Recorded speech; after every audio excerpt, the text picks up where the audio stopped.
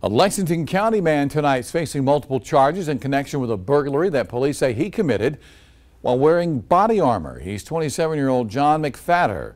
Lexington deputies say he entered a house earlier this week and they say he approached the victim inside the home and pointed a gun at them while wearing that body armor.